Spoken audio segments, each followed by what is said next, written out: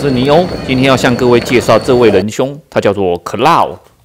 有一次，我只是问他滑板的事情，隔天他就带着滑板来借我，因此让我进入了滑板的世界。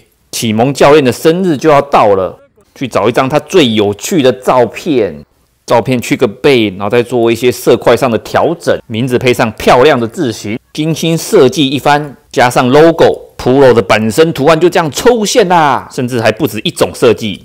耐心的等待后，终于到货了。可乐的专属滑板登场，满满的细节啊，漂亮的名字，爆笑的图案，真是越看越好笑，多么有赞助商的感觉呀！还埋了一些梗在里面，这就是送给滑板人的礼物啦。这一天就是可乐被认证为 Pro 的一天。干嘛呢？买板子。